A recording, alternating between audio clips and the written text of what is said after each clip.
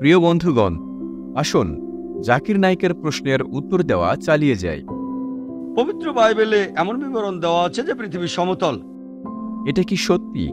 কিতাবুল মোকাদ্দস অনুসারে পৃথিবী কি সমতল? জাকির নায়েক কিতাব থেকে দুটি উদাহরণ দেন। বাইবেলের গসপেল অফ ম্যাথিউ চার নম্বর অধ্যায়ের আট নম্বর অনুচ্ছেদে বলা আছে ডক্টর ক্যাম্বেল শয়তানের সাথে যিশুর কথাবার্তা নিয়ে অনুচ্ছেদটা বলেছিলেন শয়তান তাকে নিয়ে গেল যিশু খ্রিস্টকে নিয়ে গেল খুব উঁচু একটা পাহাড়ের চূড়ায়। আর যিশুকে পৃথিবীর সবগুলো রাজ্যে এবং সেগুলোর সৌন্দর্য দেখাল। গসপেল অফ লুক চার নম্বর অধ্যায়ের পাঁচ নম্বর অনুচ্ছেদে। শয়তান তাকে নিয়ে গেল উঁচু পাহাড়ে আর পৃথিবীর সবগুলো রাজ্যের প্রতাপ দেখাল। এখন যদি পৃথিবীর সবচেয়ে উঁচু পাহাড়ে ওঠেন পৃথিবীর সবচেয়ে উঁচু পর্বত শৃঙ্গ মাউন্ট এভারেস্ট। আর ধরেন আপনার চোখের দৃষ্টি খুবই প্রখর, এবং আপনি সেখান থেকে হাজার মাইল দূরেও দেখতে পান। তারপরেও আপনি পৃথিবীর সবগুলো রাজত্ব কোনোভাবেই দেখতে পাবেন না, কারণ আমরা জানি যে আমাদের পৃথিবী গোলাকার। আর আপনি সে রাজ্যগুলো দেখবেন না, যেগুলো পৃথিবীর অন্য প্রান্তে রয়েছে। শুধুমাত্র তখনই দেখতে পারতেন যদি পৃথিবী সমতল হতো। সর্বোচ্চ পাহাড় থেকে সকল রাজ্য কি দেখা যায়? গসপেল অব ম্যাথিউ এর চতুর্থ অধ্যায়ের অষ্টম আয়াত শয়তান তাকে একটি অতি উচ্চ পাহাড়ে নিয়ে গেল এবং পৃথিবীর সব রাজ্যসমূহ ও তাদের মহিমা দেখাল। লুক চার অধ্যায় পাঁচ আয়াত। শয়তান তাকে একটি উঁচু পাহাড়ে উঠালো এবং তাকে পৃথিবীর সব রাজ্য দেখাল। আপনি যদি উচ্চতম পর্বত মাউন্ট এভারেস্টেও যান এবং আপনার দৃষ্টিশক্তি যদি খুব ভালো হয়, তবুও আপনি পৃথিবীর সব রাজ্য দেখতে পাবেন না, কারণ পৃথিবী বর্তুলাকার। ফলে আপনি আপনার বিপরীত পাশে কি আছে তা দেখতে পাবেন না।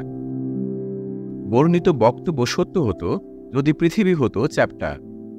সমালোচক যদি ভালোভাবে পড়তেন, তিনি লক্ষ্য করতেন যে এটা আসলে এক মুহূর্তের মধ্যে অলৌকিক একটি দর্শন, যেমন লোক চার অধ্যায় পাঁচ আয়াতে স্পষ্ট আছে। এরপরে ইবলিস তাকে একটা উঁচু জায়গায় নিয়ে গেল এবং মুহূর্তের মধ্যে দুনিয়ার সব রাজ্যগুলো দেখাল। লোক এবং মথি অবশ্যই মনে করেননি যে রোম শহর একটি উঁচু পাহাড় থেকে দেখা যাবে। তারা বরং একটি অলৌকিক দর্শনের কথা বলেছিলেন।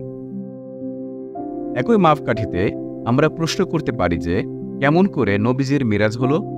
কেমন করে তিনি বুরাক নামের এক স্বর্গীয় বাহন চড়ে জেরুজালেমে গেলেন?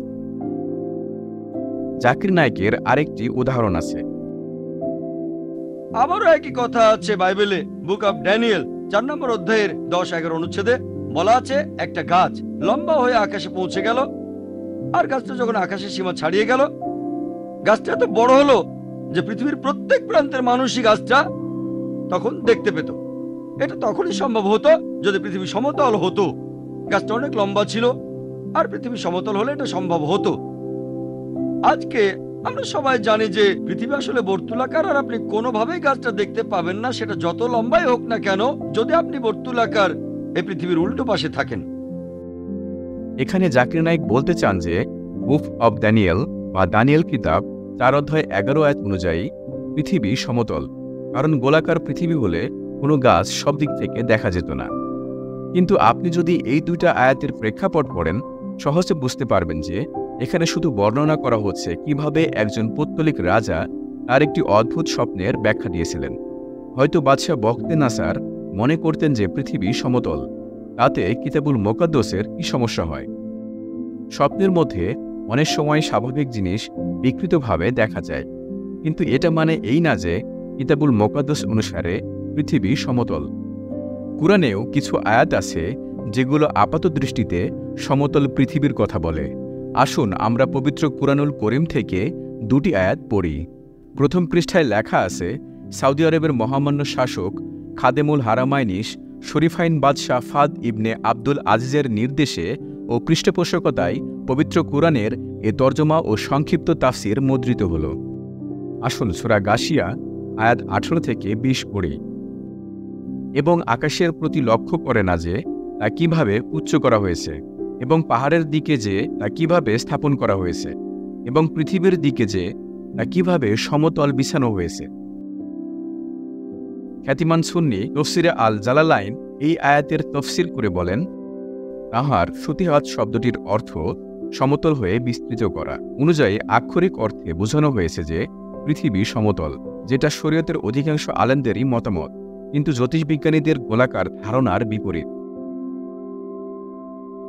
নিজেকে অন্যের দ্বারা প্রতারিত হতে দেবেন না, তবে সত্য জানতে চাইলে পবিত্র কিতাবগুলো নিজেই পড়ুন। আপনি যদি আরও জানতে চান, তবে আমাদের ওয়েবসাইট প্রকাশিত সত্য ডট কম দেখুন।